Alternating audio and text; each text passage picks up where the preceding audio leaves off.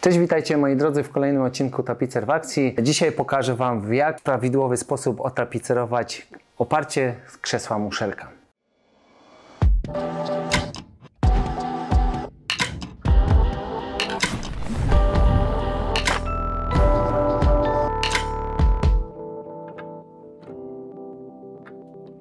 Ja się nazywam Aleksander Kądziela i prowadzę kanał Tapicer w Akcji. Jeżeli żeście e, jeszcze nie subskrybowali tego kanału, to koniecznie musicie to w tej chwili zrobić, e, nacisnąć e, przycisk dzwoneczka, albo aby Was nie ominął kolejny odcinek, który na pewno będzie również ciekawy. A więc w dzisiejszym odcinku, tak jak wspomniałem przed momentem, pokażę Wam jak w prawidłowy sposób E, otapicerować oparcie krzesła muszelka, ponieważ ostatnio zauważyłem, że wiele, e, wiele problemów Wam to stwarza i na social mediach to e, zauważyłem, ale również na moich kursach czy szkoleniach kursanci mają ogromny problem, jak tak ładnie to tapicerować. Ale nim do tego mm, przejdę i pokażę, w jaki sposób to zrobić, kilka takich podstawowych informacji, jeżeli chodzi o te oparcie. Najczęściej będziecie spotykać wersję, gdzie jest wata tapicerska i od razu jest to widoczne tutaj na tym oparciu, że wata podczas użytkowania nam się zsunęła w dół i zrobiła tutaj takie wyoblenie. E, tutaj jest troszeczkę mniejsze, ponieważ ta wata nam troszeczkę jakby spłynęła. E, no i teraz w zależności w jaki sposób Wy to będziecie odrestaurowali, czy ona zostanie, jeżeli tak, to musimy ją podnieść do góry E, troszeczkę ją przykleić, zamocować, żeby nam znowu się nie zsuwała, a najczęściej wygląda to tak, że e, ją wyrzucamy, bo nie wiemy, co w niej jest, jest przekurzona. Ja wykonam to na piance tapicerskiej, e, żeby Wam pokazać, jak to właśnie wykonać. Ok, a więc ja to demontuję i od razu tutaj mam moje oparcie wypiankowane. No i działamy. A więc tak, krzesło e, już zostało rozebrane. Oczywiście samo oparcie, ponieważ e, to nas tutaj interesuje. Podstawowa e, wiadomość, bo niejednokrotnie też jestem o to pytany, co zrobić, jeżeli są jakieś ubytki, złamania. Te oparcie było złamane, więc w miejsce złamania nakleiłem fornir, na który został naniesiony klej Oczywiście Wy możecie na całą tą powierzchnię sobie to jakby ofornirować dodatkowo jak najbardziej. Ja tutaj e, dla samego materiału e, tylko zamocowałem e, miejsce, w którym było pęknięcie, czyli fornir, klej, z szywkami przystrzelić, zostawić do wyschnięcia i mamy konstrukcję naprawioną. Warto by było też zrobić to od środka pod naszą pianką, wtedy będzie to na pewno dużo mocniej e, wzmocnione. Gdybyście używali grubszego rodzaju forniru, a nie byłaby tutaj później na plecy mm, dawana owata, warto by było lekko te krawędzie zeszlifować, jeżeli by był właśnie taki przypadek, jak ja tutaj mam, że tylko na tą jedną część. To jest taka pierwsza informacja. Druga, bardzo istotna, jeżeli będziecie sobie na nowo wypiankowywać siedzisko i oparcie, bardzo istotną rzeczą jest, na jakiej wysokości będziecie umieszczali piankę. To jest bardzo istotne, że jeżeli tutaj sobie ja przyłożę do tego krzesła, gdyby została, była taka wersja, że zostaje tu te wyścielanie na siedzisku, ta pianka powinna być trochę krótsza docelowo niż, e, niż, niż do, nie sięgała jakby siedziska. Z tego powodu, żeby nie było później wypchania tej, e, tej tkaniny i żeby nam się to nie pomarszczyło. Ona tutaj, tkanina będzie ładnie nam schodziła pod spód i wypełni nam tutaj tą, tą przestrzeń, żeby tym się nie przejmujcie. Troszeczkę, około centymetra, półtorej do dwóch centymetrów może być luzu, naprawdę nic się tutaj nie stanie. Kolejna ważna rzecz, żeby to było wklejone w środek, e, nasza gąbka, no i tak jak tutaj na załączonym obrazku do krawędzi, że w czasie tapicerowania żeby ta gąbeczka nam ładnie się tutaj e, owijała i spod spodu, no i oczywiście e, po bokach. Nie wystaje nam to tutaj za bardzo, ta gąbka, żeby nie zrobiła nam ta, takiego wyoblenia. Ok, jeżeli to mamy, kolejna rzecz, musimy zwymiarować e, naszą e, tkaninę i zawsze mierzymy w najszerszym miejscu. Pamiętajcie, że najszersze jest na samym dole, Tutaj mam ubytek, ale ja tutaj dla samego mm, szkolenia pokażę tylko jak to zrobić, mi to nie będzie tutaj przeszkadzało. E, znowu 2 cm, 3 więcej. Pamiętajcie o tym, żeby tutaj biegło ten pomiar po tym kształcie wklęsłym, żeby nam nie zabrakło e, tkaniny. 63 na wszelki wypadek zmierzę sobie jeszcze po gąbce, czy tutaj się coś mi czasem nie zmieni. Zobaczmy, 63, więc w zupełności taka szerokość powinna mi wystarczyć. No i wysokość e, naszej e, tkaniny pod spód, żeby z 2 cm było na zapas. Tutaj przelećmy sobie do tyłu. 53-54 cm e, powinno nam wystarczyć. A więc wycinamy taką tkaninę. I tutaj e, kolejna taka informacja dla osób, które mają z tym problemy. Dobrze by było, żeby ta tkanina, którą będziecie sobie używać do tapicerowania, była lekko rozciągliwa, rozciągliwa. Nie za bardzo, bo wtedy to też nie jest za bardzo korzystne, e, ale tak delikatnie, żeby się rozciągała. Wtedy będzie Wam się lepiej to profilowało. E, ja pokażę wersję, bo można to otapicerować na dwa sposoby, jeżeli chodzi e, o nasze oparcie. Pierwszy ze sposobów, i on jest bardzo często spotykany właśnie w tych e, krzesłach, to jest tak, że ta tkanina przednia i tylna jest zszywana maszynowo tutaj jest ściek biegnie po krawędzi jest taki pokrowiec nałożony, nakładany i jest to tapicerowane. E, ja bym jednak radził, żeby to zrobić e, z dwóch różnych części. E, jeżeli chodzi o montaż, to może na sam koniec materiału opowiem i w jaki sposób to ten, te plecki nam otapicerować, wyjaśnię, już nie będę pokazywał, ale wyjaśnię w jaki, w jaki sposób to zrobić. A więc wycinamy naszą tkaninę i już pokażę jak to sobie rozpracować, żeby na ładnie to się wyprofilowało. A więc ja wycinam tkaninę i wracam za moment z, gotowym materiałem.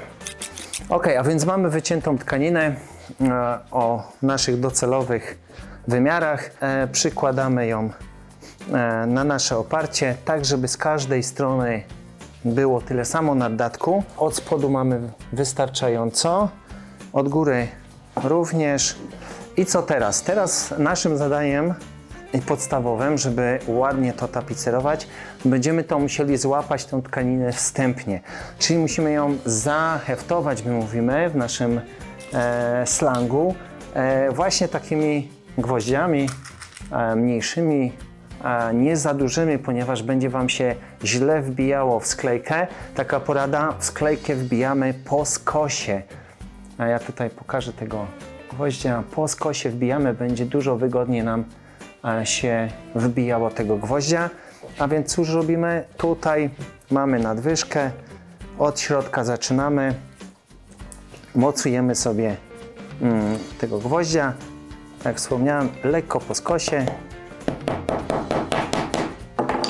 Możemy od razu sobie złapać tutaj z boku i pod, po przeciwnej stronie tak żeby już to było troszeczkę tutaj naciągnięte.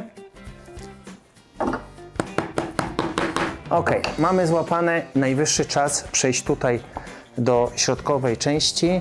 Tutaj musimy to ładnie wygładzić i proponuję od razu e, złapać sobie to szpilkami do gąbki, przybić sobie, żeby nam się to nie przesunęło.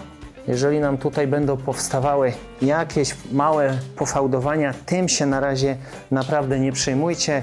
To z biegiem czasu będziemy sobie tutaj wyciągali, mm, żeby nam to ładnie wyszło. Kolejna rzecz. E, koniecznie musimy, tutaj może obrócę się do kamery, koniecznie musimy ten element wyciągnąć. Tą, e, w, tym, w tym miejscu tą tkaninę musimy naprężyć, żeby ona nam się tutaj naprężyła i przyległa do naszej gąbki. My później dopiero będziemy to wyprostowywać na boki i gubić te nasze pofałdowania. Więc ważna rzecz, naprężamy to w tym miejscu tego zagłębienia, zakolenia, żeby ładnie to powyciągać. I pamiętajcie, że to trzeba zrobić naprawdę dość mocno, czyli tutaj ja się zapieram, tutaj mam narożnik, jeszcze raz pokażę, tutaj jest narożnik, O, tutaj w tym miejscu, czyli wyciągam tą tkaninę i e, najlepiej od spodu przybijamy sobie gwoździa, bo tam nam ładnie wejdzie. Ok, nie przejmować się tutaj tym pofałdowaniem. Kolejny krok, znowu obok naprężamy tą tkaninę i łapiemy. Nie przejmować się, że fałduje się. Znowu tutaj sobie wzdłuż całej tej szerokości naszego siedziska naprężamy i łapiemy. Ok, mamy to złapane. Tutaj jest to wyciągnięte. Kolejna rzecz, teraz musimy to wyciągnąć w drugą stronę, czyli tutaj musimy sobie to zamocować. Możemy nawet wyciągnąć tego gwoździa. Zobaczcie, włożyć sobie tam rękę i znowu zobaczcie, wyciągamy tą tkaninę do góry. Wyciągamy. Ja sobie teraz, no niestety, może nie będzie dla Was to dobrze widoczne, ale odwrócę, bo dla mnie po ręce będzie wygodnie w ten sposób, czyli w tym miejscu naprężam to i łapię. I znowu kawałeczek dalej, 5 cm dalej, znowu tutaj lekko tą tkaninę tutaj podciągam, zobaczcie, tak, i znowu ją wyciągam. Ja sobie to obrócę, czyli postaram się, żeby to było wi widoczne. I tu wyciągam wzdłuż tego. I tutaj mamy coś takiego, czyli tutaj ładnie już do, do, dolega e, i możemy pomalutku, zobaczcie, naprężyć tą tkaninę. Oczywiście nie za mocno, jeżeli ją za mocno naprężę, zobaczcie, ona się prostuje, czyli za mocno. Lekko dociągamy, że jest fałda, jeszcze się tym nie, naprawdę nie przejmujcie, nie stresujcie się.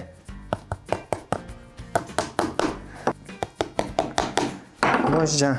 No i tutaj na samym dole również lekko dociągamy i mocujemy gwoździe. Jest to na pewno czasochłodne, natomiast na pewno będzie to skutkowało tym, że ładnie to będzie otapicerowane. No cóż, drugą stronę robimy w identyczny sposób. Za moment tutaj tłumaczę dalej. Wygląda to całkiem obiecująco, jakby nie było. E, no i cóż, e, co robimy? E, przechodzimy tutaj do wycięcia tego środka. To jest bardzo istotne, jak go wyciąć.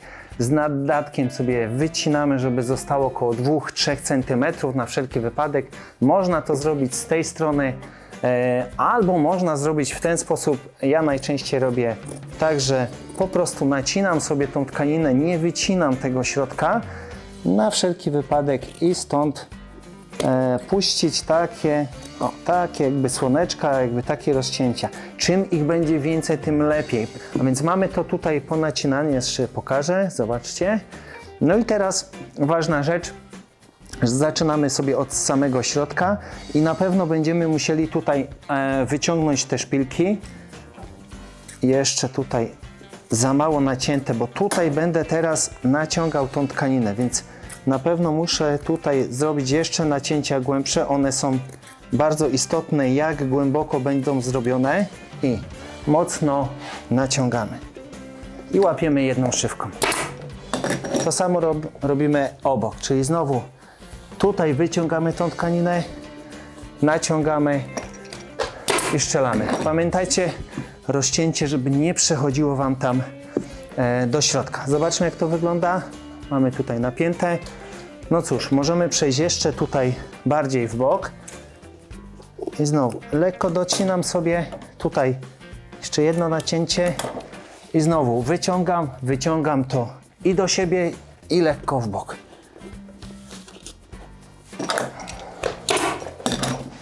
Kolejny szywka. Ok. I przechodzimy na drugą stronę. Znowu lekko dociąć. Lepiej naciąć za mało niż za dużo. I potem się okazuje, że mamy problem. Ok, wygląda to w ten sposób, czyli nacięcia nie przechodzą mi tam na drugą stronę. Zerknijmy jak wygląda moim zdaniem całkiem obiecująco. E, co teraz? Teraz góra. Więc bierzemy sobie, wyciągamy gwoździe, cztery paluszki pod spód, dociągamy tkaninę i mocujemy jak najniżej. I tutaj znowu dociągamy Ok, mamy tutaj środek wytapicerowany. Kolejny etap. y, Wykończymy sobie dół jednej strony, drugiej strony, a później przejdziemy tutaj do góry. A więc odwracamy pod na plecy. Znowu robimy sobie docięcia delikatne. Ściągamy tą tkaninę lekko tutaj w dół. Tutaj ciągniemy, żeby ona tutaj nam ładnie ściągała się. Kolejny strzał. Tutaj już nie musi być tak wiele tych nacięć. No tutaj już taki odcinek w miarę prosty. E, tutaj mamy gwoździa, więc trzeba go wyciągnąć. Możemy sobie nadwyżkę wyciąć. Ok. Zobacz. I teraz możemy sobie ściągnąć tkaninę w dół. Ok. Zerknijmy. Jest super. I druga strona to samo. A więc tak, mamy, e, mamy to powyciągane, ten łuk. No i oczywiście naddatki możemy sobie spokojnie poobcinać, żeby nam tutaj nie przeszkadzały. A więc mamy tutaj jedną część zrobioną, przechodzimy do kolejnej i w, w tym momencie będziemy wyciągać tutaj te narożniki wzdłuż tego oparcia.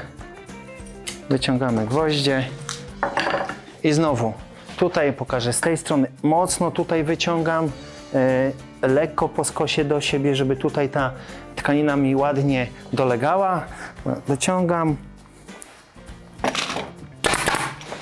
I znowu to samo robię z tą różnicą, że tu mogę zacząć sobie robić takie bardzo malutkie fałdy, żeby one, czym ich będzie więcej, ten, ten tył będzie ładniejszy. Tak, i zobacz. Aha, moi drodzy, bardzo ważna rzecz. Jeżeli zrobicie tak jak ja w tym momencie i będziecie próbować tutaj mocno to naciągać, pamiętajcie, żeby nie za mocno, żeby nie złamać sobie, bo może być problem. Ok, jesteśmy tutaj w tym, e, e, w tym narożu, więc teraz już wystarczy, że delikatnie podociągamy tą tkaninę boczną.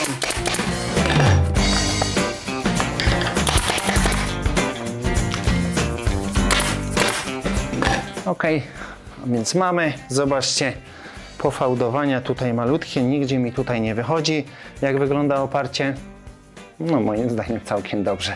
No i ostatnia rzecz, jeżeli chodzi o tą część, e, odrywamy sobie tutaj tego ostatniego gwoździa i wyciągamy tutaj na długość e, tą tkaninę i możemy ją tutaj przybić od środka, ponieważ to będzie jeszcze ukryte. Ok, a więc mamy tutaj to wyprofilowane. Druga strona robi, robimy identycznie. Ja działam. A więc moi drodzy, mam to e, otapicerowane. Spójrzmy na tył, jak to wygląda. Nad, wycięte nadwyżki, e, ładnie tutaj podocinane, pozakładane. Prawa strona, czyli ta, która będzie widoczna, żadnych zakładek, ładnie doprofilowane. E, gdybyście tutaj chcieli to wyciąć, bo można to wyciąć, pamiętajcie, żeby zostawić e, ten kawałek tkaniny, a najlepiej w ten sposób zostawcie, zamocujcie do oparcia. Ja może to przyłożę, zobaczmy, czy wszystko nam tutaj gra. No jak najbardziej, tylko jeszcze by trzeba było przykręcić nasze oparcie. No i mamy można powiedzieć, w bardzo prosty sposób otapicerowane nasze krzesło muszelka, a dokładnie jego oparcie. No i teraz na, same, na sam koniec, e, ja już tego nie będę pokazywał, natomiast tył można nałożyć na przykład owatest setkę, żeby tutaj ładnie to wyprofilować, żeby nie było żadnych wyczuwalnych nierówności. Oczywiście pamiętajcie, że tutaj nie dajemy owaty, tylko odginamy, przykręcamy dopiero później owata. No i można to zrobić na dwa sposoby. E, Wyciąć tkaninę i ściegiem krytym zaszyć w około również i górę i tutaj dół, albo taśmą maskującą. E, Jeżeli Was interesuje, e, taśma maskująca znajdziecie w linku poniżej, ponieważ w jednym z odcinków pokazałem właśnie jak ją używać i nie tylko taśmę maskującą, ale też inne. Także zapraszam do obejrzenia właśnie e, tego filmu. No i tak podsumowując, moi drodzy, na pewno da się to zrobić dobrze, ładnie i bez żadnych fałd. Czego Wam też życzę, żeby w następnym w następnej próbie nie mieliście problemów. Nie przejmujcie się, jeżeli nie do końca wyjdzie. Trening czyni mistrzem, czyli próbujcie, próbujcie i na pewno będziecie sobie mogli otapicerować w taki sposób, że będziecie zadowoleni i wasza rodzina. Moi drodzy, to wszystko w dzisiejszym odcinku. Oczywiście nie zapominajcie subskrybować kanał e, dla tych osób, które jeszcze tego nie zrobiły. Istotna rzecz, Wspierajcie na Patronite e, moją osobę, bo jest to dla nas bardzo ważne. Czekam na Wasze komentarze, czy się to podobało, czy raczej nie, czy coś, jakiś błąd popełniłem, chociaż ja nie widzę. No i tyle. Czekam e, na Wasze komentarze, tak jak wspomniałem. To wszystko w dzisiejszym materiale. Trzymajcie się, cześć, do następnego razu.